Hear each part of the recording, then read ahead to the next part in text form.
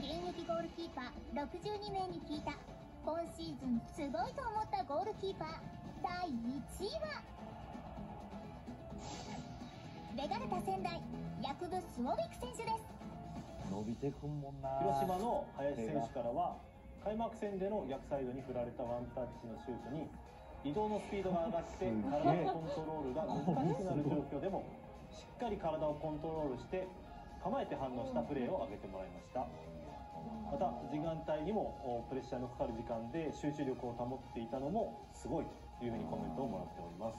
僕は本当ストーミク選手は日本人の選手が目指すべきスピードを持った選手だなっていうふうに思っていて